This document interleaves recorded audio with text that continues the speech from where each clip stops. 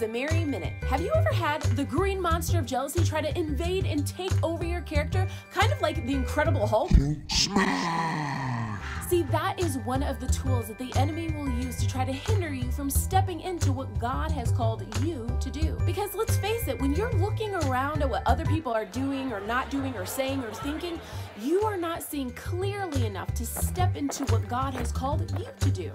So, how do we guard ourselves from this happening? Well, we need to stay focused, keep our eyes on Jesus, and keep His word in our hearts. In Psalms 37, verse 31, it says, The law of his God is in his heart, and his steps will not slide. So today, guard your steps by keeping God's word in your heart so that you don't slide down into jealousy and so that you can step in. Love ya. Bye.